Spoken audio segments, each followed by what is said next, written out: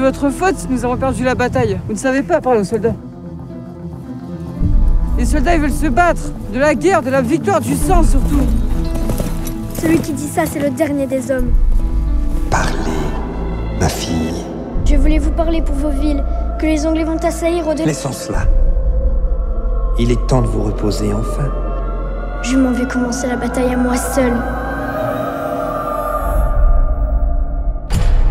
Seigneur, voici l'accusé.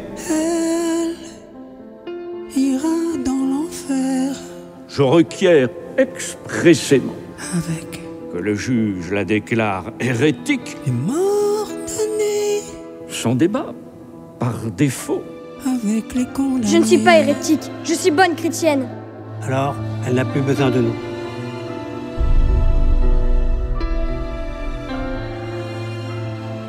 Vous soumettez à l'Église tout ce que vous avez fait? Mais oui, mon maître, je veux bien, moi. Tout, sans exception? Tout sans exception. Sans aucune exception? Sans aucune exception.